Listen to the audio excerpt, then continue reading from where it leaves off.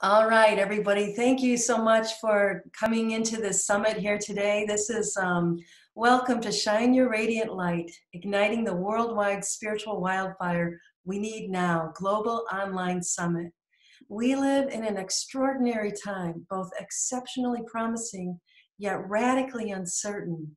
And as we dive into uncharted waters and move closer to a critical tipping point, we see a worldwide awakening beginning to catch fire. If you're listening to this summit, you are definitely part of the amazing shift that is beginning to transform the world like a spiritual wildfire. In this summit, you'll hear from 21 amazing speakers who each in their own unique ways have been the way showers and the pioneers leading the way to the paradigm shift that is unfolding now. This summit offers inspiration, healing, and practical tools to anyone who is ready to courageously use their own light to help ignite this worldwide spiritual wildfire. Together, we can create a new world based in compassion, wisdom, justice, and joy. My name is Joan D'Argo, and I am your host, creator, and producer of the Spiritual Wildfire Summit. And I want to extend a warm welcome to all of you. And today I am so excited to interview Kedar Brown. Welcome, Kedar. It's really good, good to have morning, you here. Joan. Yeah, it's really good. exciting to be here. Thank you so much. So I want to I want to share with the audience a little bit about who you are, okay? So Kedar is an internationally known ceremonialist, a diviner, a shamanic healer, intuitive, and teacher of psychological and spiritual awareness with over 35 years of professional experience. Over this time, Kedar has developed an effective and unique approach to emotional and spiritual healing by braiding together his depths of clinical knowledge of experiential psychotherapies with more nature based indigenous wisdom teachings and ritual healing methods from all around the world. Kedar is the founder and director of Rites of Passage Council, an organization offering nature based ceremonial encampments and trading programs. He lives in Asheville, North Carolina. And today his topic is called Activating Ritual Fires of Healing and Transformation. Again, thanks so much for being here. Oh, it's exciting to be here, Joan. These are exciting times we live in. They really are, aren't they? so I, I, go ahead, yeah. I would say just this this idea of exciting times. I'm reminded of a quote by um, uh, one of our great eco philosophers, Joanna Macy. Yes. And she says this. She talks about this. Um, we live on this edge of uncertainty, and yes. it's the edge of uncertainty where our most creative inspiration comes alive. Ah. So there is this this fine edge of uncertainty and creativity that gets activated. Yes. Uh, in these in these times. Yeah, that's really good to remember right now because if we don't remember it like that, it could actually maybe plunge us into a downward spiral. But but these are really exciting times. At the same time, they're very uncertain. Right. Yeah. Right. So I got to tell you, Kedar, I was a, a, little hesitant about calling this summit activating a worldwide spiritual wildfire because of all the destruction that's occurring with wildfires, especially now out, you know, out west. I was a little hesitant. But then I remembered, you know, a spiritual wildfire is very different than the wildfires that we're currently seeing, which often indicate that the life, life is really out of balance. So I was wondering if you could give us some context from your perspective for what you mean by activating ritual fires of healing and transformation. Well, I'll begin with a story. Oh, good. And this story is one of uh, me working with a 17 year old some years ago that uh, ended up in front of me at a wilderness uh, rehab center in which they come from all over the world and into this uh, wilderness experience. And um, he had come from uh, Washington, D.C., but prior to that, he lived in a village in South Africa. Mm. And in that story, um, he grew up in this village until he was eight. And at eight years old, he left that village and came to Washington, D.C. And so all of a sudden we can see right away there's going to be turmoil mm-hmm. and, and difficulty. Um, there's a whole paradigm shift that now he's plunged into. Mm-hmm. And so he's in front of me now because he's gotten involved in gangs and in drugs and all these other uh, self initiatory experiences or shadow initiatory experiences. Mm, hmm And I knew something about the village he uh, grew up in. And so I asked him this question. You know, I said, Do you have another name?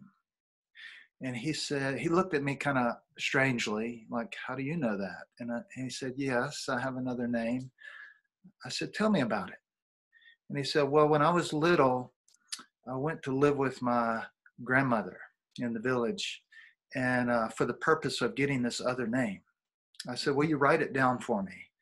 And so he wrote down this really long name on a piece of paper in his, his native language. And, uh, and I said, Read that for me. And what he read out had to do with fire and other elements and animals and landscape. Mm. And so embedded in this name uh, was a particular frequency of identity that his grandmother saw in him. And then he looked, he kind of looked up like this and he said, You know, when I left the village, the last thing my grandmother said to me was, Follow your name. Wow. And so, this idea that uh, we come into this world from an indigenous perspective inscribed with a particular elemental frequency of medicine or gift mm-hmm. that we are here to deliver. And often the grief and the turmoil that we experience in life is, is a result of becoming uh, misaligned with that gift. Mm. Um, and that realignment is what brings us that that's the igniting that's the activating mm. of this fire and when i think about all the the fire that's happening externally on the planet mm-hmm. uh, both uh, literally and in other forms of uh, shadow fire like war and, and things like that. Okay. Um, I think of the you know the things we disown in ourselves we tend to project out. Mm-hmm. Um, and so when I see all this uh, turmoil of fire happening, I think how are we not activating and connecting with our own fire? Mm. Um, so uh, I ended up writing this this poem that uh, uh, based on my work with that young man back then, mm. and I want to share it as part of our introduction. It's called Good. "Follow Your Name." Thank you. So follow your name. Pay attention. Pay attention. Be careful not to distract yourself from yourself by focusing on the obstacles in your life. Focus on the delivery of your medicine not on the stories in your head where you recount your limitations and losses.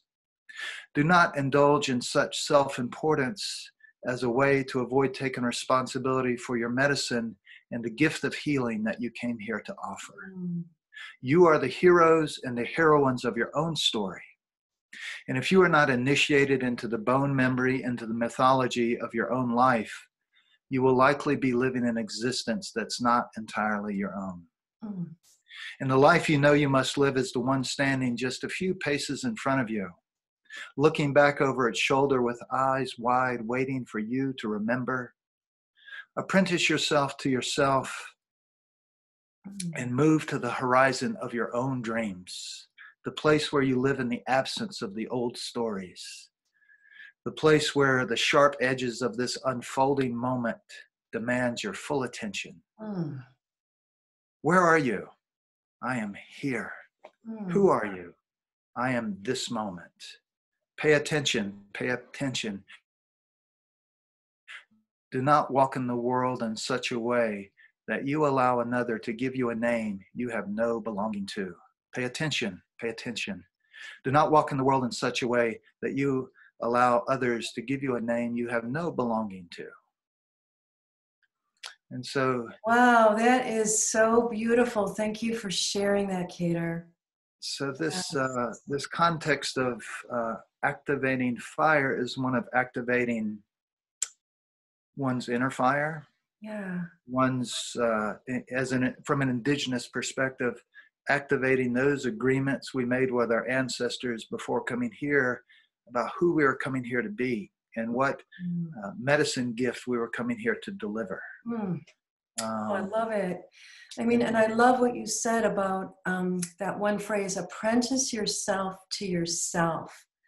And I feel like that is what many of us are really called to, you know, come forward um, to help heal the world and ourselves. Is, is that I feel like many of us are trying to figure out okay, what is our medicine? What is this gift that we were born with that you know we could share to really make a difference and so you know how does one find that that gift that medicine that we were each born with right Right. So it's looking to the the old initiatory passages of, of all our cultures, across cultures, across the planet, um, where they're the rites of passage experiences, Mhm. or rites of passage initiatory experiences were still alive, and and they're still exist today. There are many many folks that offer initiatory rites of passage experiences and in this day and age they're not just for youth not just for you know you turn Mhm. 14 or 15 um, therefore those periods in our life when we're betwixt in between when we're no Mhm. longer where we were we're not yet where we're headed we're betwixt in between. Um, it's it's that age around i always say it's that age around 14 or 24 or 34 or 44 54 that is so true you know, when we get in that in between, what are the uh, initiatory passages that uh, that we can step into to help mark those those experiences and, and Mhm. put them within the context of ritual and ceremony. So, like Yes. uh, the Aboriginal walkabout, or the Vision Quest, or hill walking, as they might say in the British Isles. These these ways of severing from the old and yes uh, under the guidance of, a, of an elder and going into the wild, into the wilderness Mhm. um, for a period of time. And uh, usually it would involve some level of fasting and prayer and solitude. Um, those three three aspects to all rites of passage across the planet. yes And um, so we could say, you know, Jesus went into the desert for 40 days and 40 nights. Okay. Buddha went under the Bodhi tree. Muhammad went up on the mountain. Uh, you know, Crazy Horse went into the desert. There's just countless okay stories of the initiatory passage. And these experiences are designed to activate that fire, that, that original uh, fire within, uh, which is the memory of this who I am, where I'm, where I'm going. Um, yes and yet all of that gets cloaked by uh, disconnection and grief and and um, and which petrified grief then turns into anger and judgment and all these other Mhm. things so activating fire is often one of healing first Mhm. healing our disconnection from ourselves uh, f- from the others and not just the human others but all others yes human and non-human others Mhm. and as that healing happens, then there's this spark of activation. Mm. okay begins. love that yeah There's a, um, to to borrow a concept from from a storyteller, Michael Meade, talks about there there are two um, two elemental trajectories of initiation, and uh, we could say one is by fire, and that is in what we would call initiation by the spirit. It's to become impassioned, is to become uh, almost possessed with a passionate drive of fulfilling some mission, some some vision. okay Um, and often that can take shadow forms, which can end up as addictions and reckless behavior and things like that. okay And then the other one is a, an initiatory trajectory of water, which Oh. is a descent, a descent into water, into healing, into ancestral memory and reconciliation and Mhm. forgiveness and wow and and so what I what I see in these times is is there's a need to descend Mm-hmm. So that those of us that descend, the, the initiatory journey of descent is that we end up in fire, that we go down and to deal with these difficulties. Um, and that's what ignites the fire. Mm. Um, as, as Meade would say, you know, those that are drawn to the water end up in the fire. Oh, wow. fire end up in the water. Oh, that is so interesting because I'm really seeing, you know, really two two elements, you know, fire and water Mhm. that are really expressing themselves today and Mhm. and maybe it is an invitation as you're saying to to go back in and receive that you know internal initiation um, to to find that that fire within us. And i'm curious though Kedar you know because you talk about how it's important to have um, a mentor or you know to to create that sacred time you know to you know find that gift and you know that space within. What about those who may not have that opportunity you know to to to create that sacred time? Is is there a way for them to you know connect back in so that they can bring forward their gifts in this time when we really need it are, are there ways to do that Yeah, you know, spending time with, uh, I'd say spend time with someone at least 10 years older than you that you respect. oh nice It's a very simple thing. And- and listen to their story and share with them your journey and where you are, somebody that's gone a little further down the road than you have. So if we don't have access to therapists or other Yeah. healers and, and we're in, in, in more of a closed experience, uh, at least we can maybe find one, one person we respect that's gone a little further down the road. Yeah. And, and uh, that we would think of as, as an elder.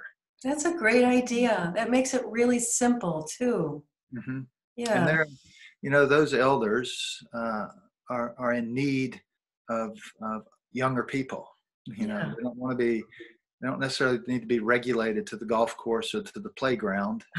Um, they have a lot to offer. They say that they say that the the old ones and the young people have a common connection because they both have a foot in the other world yeah so they understand each other better where those of us sometimes in the middle get a bit lost with all the very true right connect those two That's great. Um, you know, you, you touched on this a little bit already, um, but you know, maybe just a little bit more about um, what an initiation is, because you you touched on it, but maybe in a little bit more. And then, you know, some in some ways, I think, and I'm wondering if you agree that we are undergoing a collective initiation, right? Mm-hmm. Like worldwide. And you know, if an initiation involves a passage, what's on the other side of this collective initiation?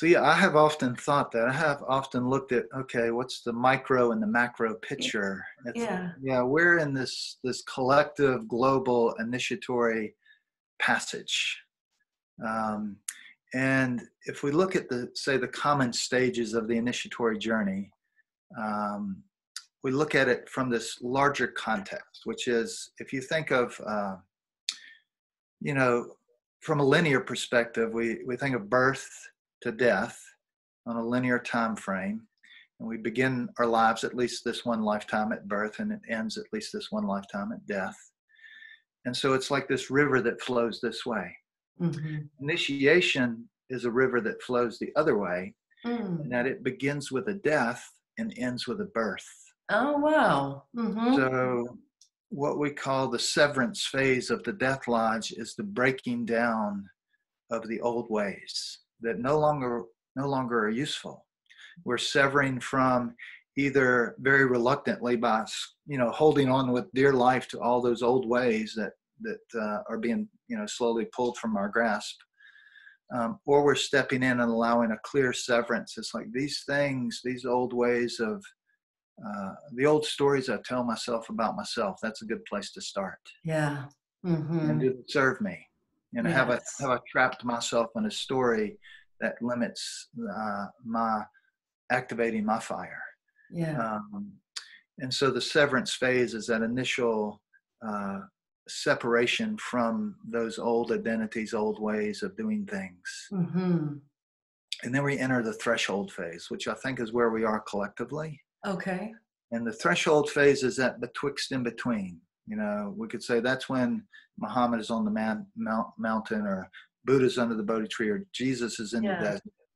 Uh, it's that in between time Yeah. um, where we are crying for vision, as, as natives might say. You know, there's we have reached the capacity of our own uh, resourcefulness, and we got to reach out to something greater than ourselves. hmm Um, and so this is where the, the palms become open, the heart becomes open, and we surrender. Now, Oh. surrender is not letting go, is not giving up. Surrender is uh, open ourselves to a capacity of greater knowledge and understanding and Mhm. healing um, that we can't get to unless we do. So, this Mhm. threshold phase of going into or being guided into, say, the wilderness or, or some ex- initiatory experience uh, of release, of like, Yes. essentially, I don't know what to do, like Yeah. help. and then watching what happens. And then Wow. what what what things begin to come to us what what new information begins to show up or new ways of thinking Mhm. about solving old problems you know Mhm.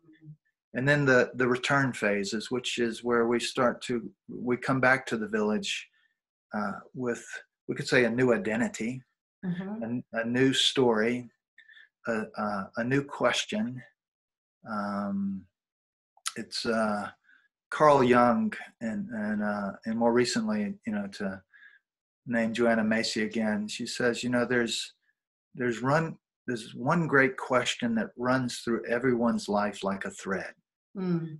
and if you can find that one great question, Mm. it will become the lighthouse beacon for your for how you live your life. Mm. Um, Mhm. And so we learn not to not to look for easy answers, but Mm. look for really good questions because it's the questions that we live into. It's kind of like the name that follow in your name. Uh-huh. So the questions that guide us forward. Mhm. Um, and you can see it in, in some of the young people um, around the world, you know, that are that are fired up, that are ready for change. It's like you're not going to tolerate any of the old story. That is Um, so true, isn't it? They're saying enough, that there is a bigger, brighter vision.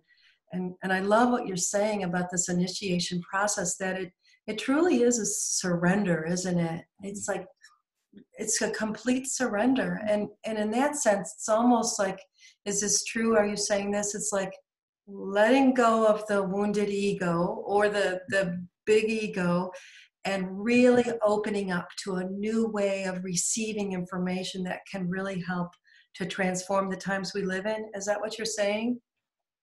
That's exactly what I'm saying. It's like shifting from what I've heard called um, ego-centric thinking to Okay. eco-centric Oh, yeah, yes. or soul-centric thinking. Yes. Um, and so that that shift uh, of broadening our perspective to a more eco soul-centric way of thinking Yeah. um, about the problems and the solutions and um, and, and it's much more inclusive you know it's Mhm. uh, not just the human and the non-human but the living and the non-living Mm-hmm.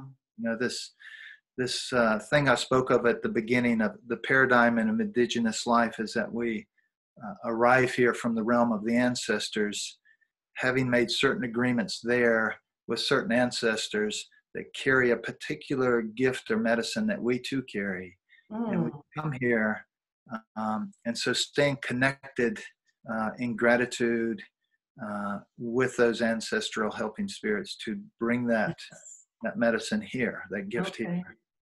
Here, And, um, yeah.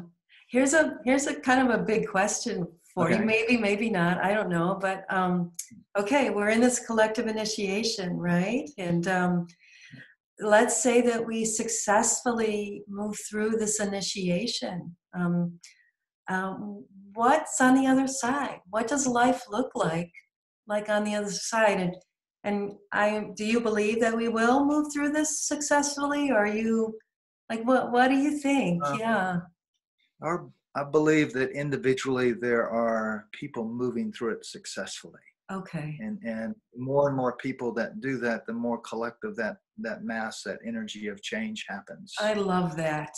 Mm-hmm. And and so I don't sometimes we there's a tendency to kind of defer the responsibility of change to much more of a global uh, governmental responsibility Okay. and, and we got we got to pull that back in Okay. to bring it in closer and and start here and let you know the grassroots is that we are the grassroots let it begin to go out from there um, so this uh, yeah so this this global need for change is is going to start here Okay. um, and the other thing is um, the healing you know i think i was uh, talking with a, a, a native elder the other day about some of the challenges of native people and white people and, and Yeah. animosity and and and what we both came to agreements like the healing has to be acknowledged first Okay. um, we have to be willing to come together and acknowledge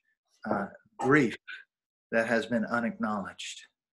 Uh, because unacknowledged grief uh, becomes petrified and it becomes fear and anxiety and, and uh, anger and um, and then it takes all these shadowy forms Mm.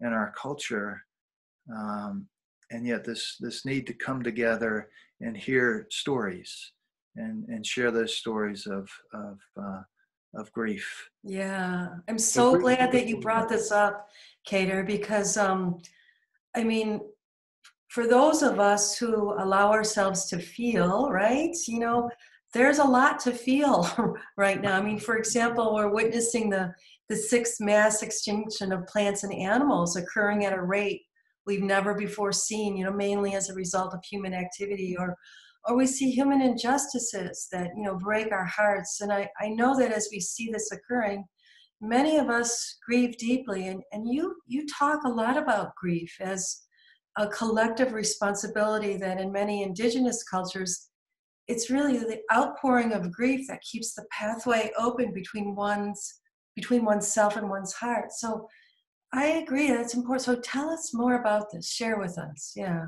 Yeah this this concept of grief as uh, not a personal dilemma uh, of turmoil but grief as a collective responsibility of offering. Offering that feeds uh, the spirits that that uh, it is it is water that is a conduit of connection for the heart Hmm. our water uh, that enables the hearts to connect um, Mhm. and if if we resist going to that place that you know where we can discuss and argue about all these principles of of how things should be but if we've uh, repressed our own grief it's going to start showing up more and more in our descendants and our children and our, Mm. it's in the, it gets embedded in the land. So um, so grief rituals uh, several years ago back in i think it was 2015 i was asked to come uh, to the uk to do a ritual. And i said okay well let's listen in and see what ritual is being asked for and so as i listened to the people making the request i said it sounds like this needs to be a grief ritual Mm. and um, and I was surprised that uh, 50 people showed up for this for this grief ritual, and then it became this annual event that Mhm. now has gone across the UK and into the you know into Europe. Um, and I was I keep asking myself such hunger to come together um, and acknowledge grief, and it's um, and the bigger picture of grief is it's not just a personal story of loss. Okay. Uh, grief we can also think of as an uh, that which can be ancestral and Mm. unacknowledged. So grief can travel through family lines uh, when it doesn't get acknowledged. So Mhm. if if uh, great grandpa died and and his son didn't know how to grieve then great grandpa didn't get grieved and then Oh, that grief becomes a hungry ghost that then can land on great grandson okay. there's a certain age and all of a sudden he's consumed with this depression. Oh, Um, wow. yeah, it's hard to to pin down where it comes from. It's a actually a true story that uh, that I saw like that. Where three generations later, Mhm. this grief had had shown up in this this young man Wow. very suddenly, and we traced it back to this unacknowledged grief in the family. And so, um, so grief can be collective in Mhm. terms of when you tap into grief, you might begin feeling uh, such a grief that you part of you thinks, "Wow, this is so much grief. This couldn't possibly be all mine." Okay. And I'll say, "No, it's it's likely not all yours." You know, there is Mhm. that place we can get to where we tap into a collective. Mm. So it can be in our bloodline ancestry. It can be more of a collective, uh, Okay. be archetypal or or collective energy of of grief. Um, and then there's grief in the land. There's grief that's been unacknowledged. Um, You know, the one thing about energy, we drop into a, a quick physics lesson, is that we know energy can, energy can never be created or destroyed. It just changes form. Um, and so all energy that ever was will ever will be. And so when people sometimes will tell me, well, well, the uh, the land is grieving. I said, no, Mm. the land's not grieving. We put grief there that we haven't dealt with, Oh. and we have to be willing to to re-own and move, pull that grief out of the land and move that grief. Um, Mhm. And So that it can be freed up and move again and released. yeah, and, Mhm. and so the grief uh, you know i said earlier those that go into water which is an initiatory journey of descent into healing and memory and ancestral reconciliation and trauma reconciliation that that kind of initiatory descent is into water but to do that work on the other side one's up ends up in the fire Yeah. because in doing that healing work is what activates uh, uh, reactivates that that Mhm. inner fire Mm. without doing that inner work, that healing work, we tend to want to project out that pain onto the environment or, or Yes. perpetuate it onto the environment Yeah. um, or each other. Mhm. Um, so there's th- this healing and, and transformation. The first the healing, then the transformation. And with uh, in in indigenous cultures, well, I'll frame it this way: when when you're feeling ill or well, Yeah. not well, and you go to your doctor, and then you go to your pharmacy, and they give you a prescription, yeah. and on that prescription, somewhere it'll say active ingredients, and it'll be a really long word that I can never pronounce myself. Right. the active ingredients. I think this is what makes this thing work. Um, well, when we go back in, in, in our indigenous ancestry, the active ingredients to medicine are the elements Mm. fire, water, mineral, earth, nature. And so ritual uh, healing always drew upon the power of the elements. Mhm. So when we talk about fire as an element, um, often across the Americas, both North and South, I've heard a reference to the, the term grandfather fire. Mm. And that, that term references fire as our um, oldest elemental ancestor. So it's Oh. called grandfather fire. Okay. And often you'll get grandmother ice or grandmother water because that's the second oldest elemental Oh. ancestor. Oh. So in a lot of creation stories, you'll see the first elemental presence is fire, and the second will be ice or water. okay. And so there's this reference to uh, grandfather fire as the oldest elemental ancestor. Therefore, it's in us too. Mm, I love that. Another face of fire is, um, and I've seen this more in my work in, in, in uh, with African traditions, is fire as a doorway of communication with ancestors. Oh. Um, and so we, we bring offerings to the fire. We, Mm. we when the fire is activated, uh, uh, a door is opened for communication with Mm. our loving ancestors. And so we Mm. we uh, to to go to the fire and take. You know, for me, it might be taking some Irish brown bread and some Scotch Mm. whiskey and putting it on the fire um, As a gift. as an offering. As That's an what offering. of, of my ancestors. And so Okay. uh, and then open a door of communication Mhm. um, with the loving ancestors. yes. Um, and then the third face of fire is as an elemental medicine. Mm-hmm. So we have the grandfather, el- the grandfather fire as an elemental ancestor. We have fire as a doorway, hmm communication with our helping ancestors. Mm. And then we have a fire as an elemental medicine that is employed for certain types of turmoil. Mm. Um, Mhm. And so often fire as an elemental medicine is brought in to activate uh, action Oh.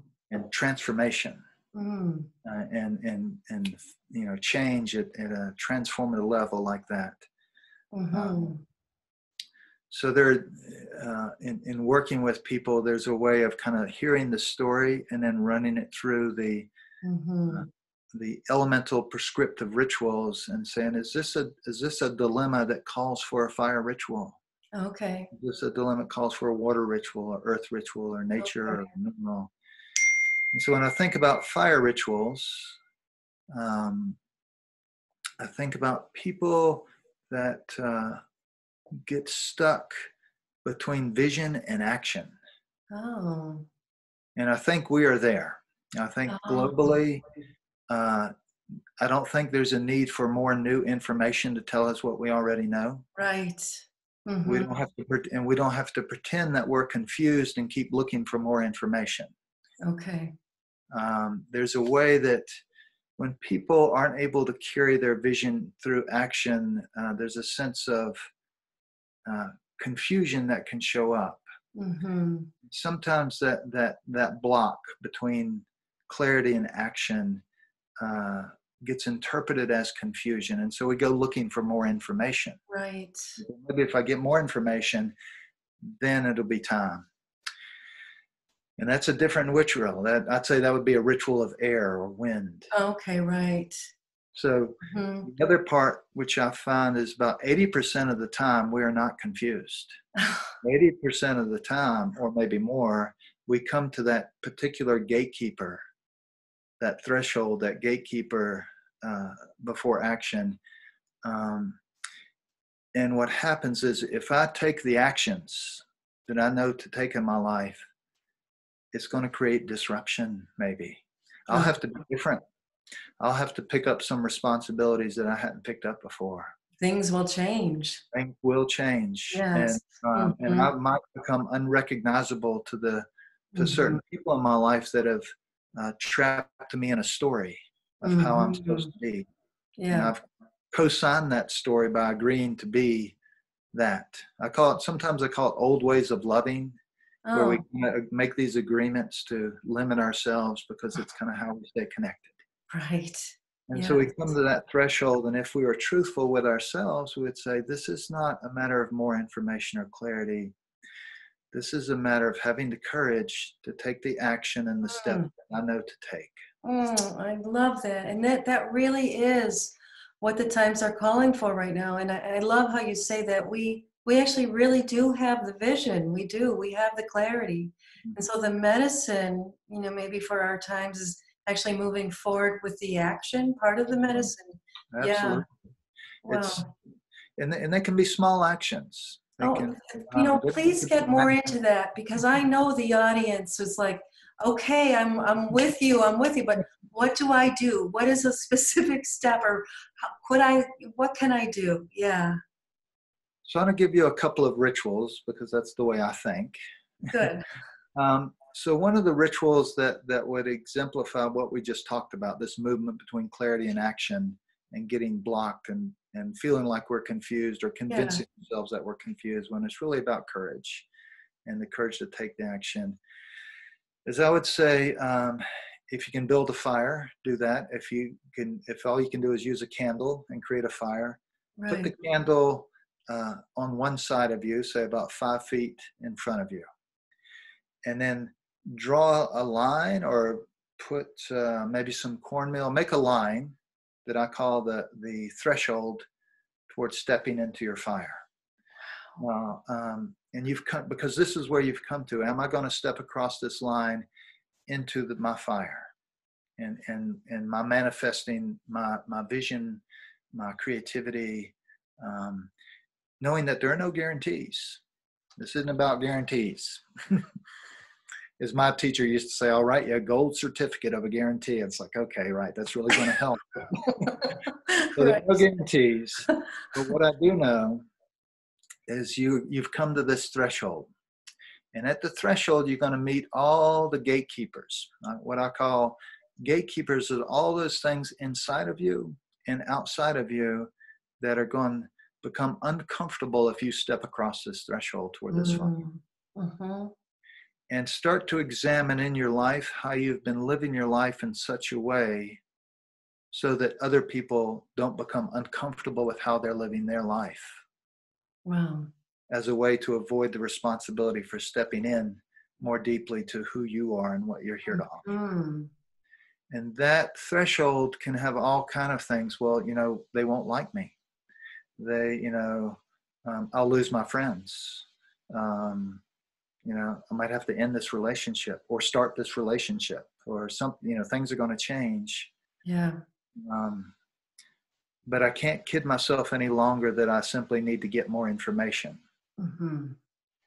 And when one is ready, you get to become clearly aware of the gatekeepers. I think this is really important at that threshold. Okay. And also acknowledging how they have served you in your life. Mm-hmm. So if there's ways that you, old ways of loving that you've held on to that just mm-hmm. don't work anymore, you know, thank you for being there. Thank you for getting me this far. And I, I can't live inside that story anymore. Wow. Mm-hmm. And then once you're clear about that, you step across that threshold. And uh, it can be a line in the dirt, it can be anything, something that you can remove. And once you step across that threshold, I want you to turn around and erase it. Mm. No going back. And step up to that fire and connect in some way with that fire that is sitting outside of you. And as you uh, get close to that fire, think of yourself as fire recognizing itself as fire. Mm, beautiful. Um, and you just breathe and connect with that fire and let it, uh, and remember this piece about the ancestors, which is the other ritual I would share with you. Okay. Uh, is you just begin to let that fire warm your heart, warm your vision. Mm-hmm. Uh, and then asking yourself at the end of the ritual, maybe even at the end of this this interview, okay. that you are having as people listen to it, asking yourself, in light of what I have heard here today, or in light of this crossing this threshold and stepping toward my fire, what action can I take? What action am I guided to take today, this moment, tonight? Maybe when I go home with my children, mm-hmm. maybe when I go to work today. Um, but don't let it be like, well, how am I going to change my life? That's that gets too okay. right what can I do tonight before I go to bed? Yeah. What can I do uh, this week? What action can I take? And I say, as long as that action falls within the bounds of your integrity, mm-hmm. do it. And then watch what happens. Mm. Thank you, Kedar. That is a very beautiful, powerful, yet simple ritual that any of us can take. Thank you so much for sharing that. You're welcome. Uh, welcome. Yeah. And I don't know where we are with time. There was that other ritual. How Please, are we doing? Share. Yes, go okay. for it. Yeah. So the other one, um, when I spoke about fire as an elemental medicine that uh, that we're working with, that would be that would be that one. Okay. I talk about fire as a doorway of communication with okay. our helping ancestors. Um, one important thing to understand is when I use the term helping ancestors, that is all to, also to acknowledge that there's this realm that I would that's called the unwell dead. Okay. You know, those that they're dead, they're gone. I didn't like them when they were here, and don't really want to talk to them now either. so there's an unwellness, and there's an unwell living, and it, it's this. Uh, there's an old Irish proverb that says that the troubles in the other world, the unwell dead world, okay, um, can only be healed from this world. Oh. And troubles in this world can only be healed from the other world, oh. meaning the well ancestors. So this relationship with ancestors Ah, is more than a conceptual idea. It it. is a palpable resource of, of necessary healing and support. Mhm. So we have those, what I call the bright and shiny ones, or those that are well in spirit, Okay. um, because we've lost the ancient rituals of, of healing and, and ushering the dead to the realm of the ancestors. We don't do those anymore. hmm So there's this um, there's this way of honoring that there's a lot of turmoil in both worlds, both here in the living and the other world that needs attention. And so for this ritual, I would say if you can, build fire. Okay. And in that fire, heat one stone. Um, and when I say one stone, I'm look about this big, about the size of your head. Okay. and um, in that fire and and you and the idea is to heat it for you know a good couple hours so it gets really hot Okay.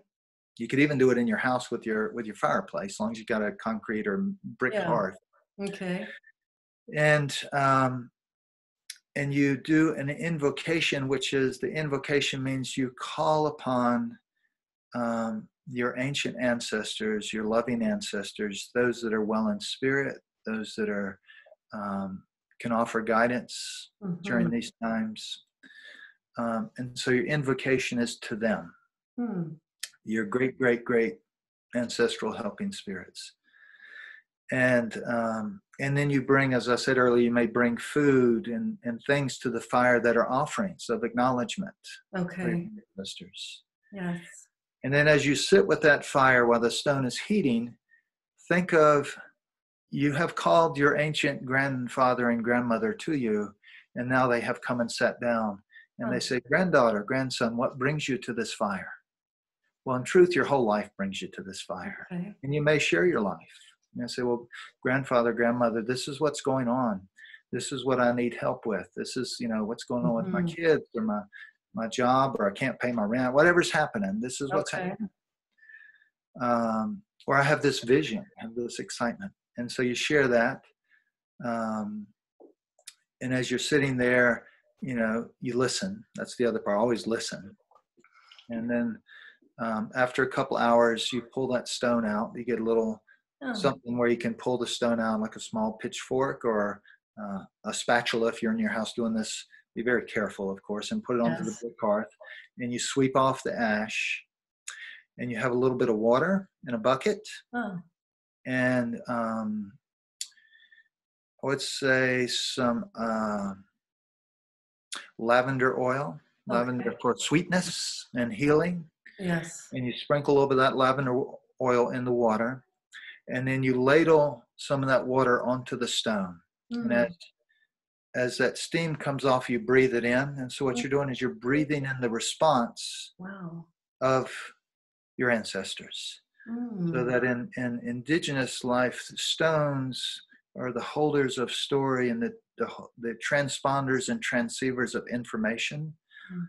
uh, fires that open doorway of connection with ancestors. So you've heated this stone with your prayers, with your tears, with your story, and you've made some requests. Now you've pulled it out and you pour the water in. As as you breathe it in, you're breathing in the response. Mm. It's a good, so it's a really important night. The next for the next four nights, really pay attention to your dreams. Mm-hmm. Once that stone cools, you can create an ancestor altar or shrine Mm-hmm. Mm-hmm. with that stone there. It's kind of a communication device where you begin to kind of check in and uh, with your ancestors about how things are going. Oh, Um, beautiful. That's another tool of working with fire from the perspective as a doorway to our helping ancestors. Yeah.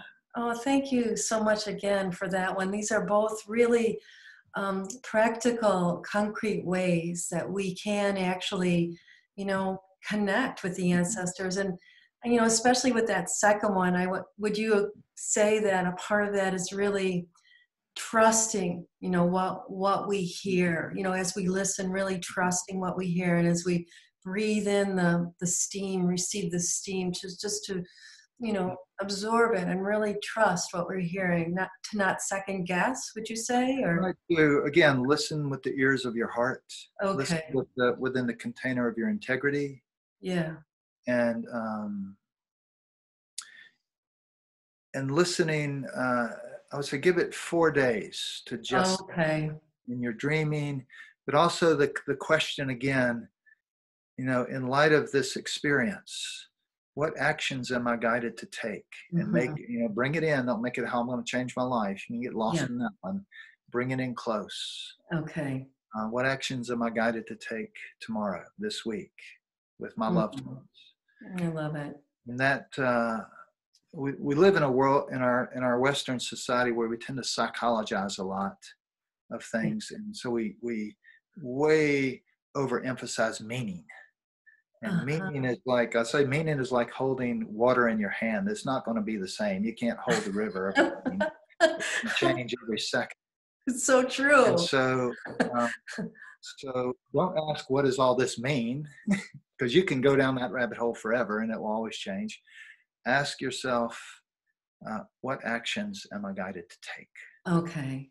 that's Yeah. the fun Yes, I, I, I love it because I can see how we can, you know, by asking, what does this mean? What does this mean? We get caught up in the analytical brain, which sometimes will keep us away from what the truth really is. right right yeah, yeah Good. many years ago in working with my one of my native teachers I, I shared this dream with him about a mountain lion and i was you know my background being in psychology i was still too too steeped in psychology thinking. And i said yeah i had this this dream of a symbol of a mountain lion. And he looked at me really on he said no you didn't. And i was smart to say okay i didn't but he said you didn't dream about a symbol of mountain lion. You were with mountain lion. Oh. what did mountain lion tell you to do? Mm-hmm. you know and this, so this this whole idea of of what we notice Yes. the actions we take not impulsivity but to bring those together with courage Mhm. and use use uh, that fire within our hearts within our bellies within our minds uh, to to activate the courage often to take the action Mm. the courage to be um, you know more love, loving Yeah. Yeah. the Mm-hmm. courage to be more forgiving Yes. um, the courage to stand up when that's when it's time to stand up and speak and the courage to sit down and be silent when that's what courage looks like Yeah. Mm-hmm. Love it. Mm-hmm. Well, geez, Kedar, this is this has been so um, informative. You've shared so much, and actually, I, I do have a, another question for you, if you got a minute, and it's actually related to to the gift that you're giving because you know people you'll be you know your gift will be right underneath this interview with a, a link to your website and you have so graciously gifted um, a free audio version of uh, Singing Stone, which is a beautifully crafted story of the initiatory journey as told by you. But you've also, um, you're also inviting people to enter into a drawing for a free one hour cowrie shell divination with you via Zoom video. And I, I would love it if you could share with people what is a cowrie shell divination? Yeah. so first divination is a way of looking into just say to divine into it's a it's a method of divination that i learned um, from my teacher Malidoma Somé um, and so i have a, a divination spread that i work with um, that's been active since 2003 and um, we'll, we'll add a link uh, Okay. in this where you can go read on the Oh, uh, good. much more thorough but it's it's it's the understanding that essentially looking into our, how we align with the medicine gift that we carry mm-hmm. um, uh, are there any ancestral underpinnings of challenge or turmoil that are still moving through the through the Okay. line that are, are causing impact Okay. um, and unlike other forms of divinations or readings where people just give you a lot of information Yeah. the purpose of this form of divination is what I call both diagnostic and prescriptive. Okay. So that at the end of the divination, uh, you'll be given certain individual specific ritual prescriptions Oh, to carry out. It's like the ritual prescriptions that I gave kind of generally a few moments ago, but these are much more individualized for the Mhm, Love it. So there would be certain, whether they be ancestral rituals or elemental rituals, but they're the, the ritual prescriptions are designed to uh, focus on the concerns of question that the diviney brings. Okay. And so they would then enact these rituals and maybe, you know, however long it takes to do that, because sometimes they're quite elaborate. Okay. You know, they might call me back in a few months and say, okay, this is this is happening now. I did Okay. this, so it's happening. Yeah. Mm. And so that's all done through reading the cowrie shells, right? Well, there's shells, there's items, there's there's a number of items and and and bones and things in the spread, Okay. and it's placed on a cosmology elemental wheel. Okay. So in in divining you, there's reading the conversations of the of the items themselves, where they're sitting, what they're saying to each other. Excuse me. And then there's just the energy of interchange that comes between um, me and the other person. Yes. You got some water there? I don't, you know, it's I just didn't bring water this time. Here, here. Right. Take a breath. Yeah, yeah, yeah. hmm And then there's the information that comes in from another realm. Love it. It sounds like a really, um, really wonderful and really insightful and filled with lots of meaning and wisdom that could be so helpful to anyone. Yeah. So, so thank you so much for you know offering both of those free gifts. And again, all those links will be right you know below the interview, right here. So, so Well, thank you Kedar, is, so is there. Yeah. Yeah, is there anything else that you want to share with us before we bring this interview to a close? Um, I would say, you know, live, live your life in such a way uh, that it's a blessing to all your relations. You Mhm. know, let the way in which you live your life uh, speak your gratitude for your life. Um, and it's it really is in the simple things. We can get lost in grand gestures and you know what am I going to do with my life? Mhm. um, but bring it in close and and uh, you know the, the the magic of the mystery is much closer in than we think Okay. um, it, it's not something we have to you know look for down the road one day it's it's right here right in front of us all the time Mm. Well, boy, many, many, many thanks so much. I so appreciate um, you taking the time and sharing your wisdom and offering your gifts, offering your medicine that is so, so needed, in, you know, in the world right now. So, just want to thank you so very, very much. thank you Joan thank you again for the invitation to to join you and and uh, and the other listeners that will eventually be here with us Yes. All right. Many thanks.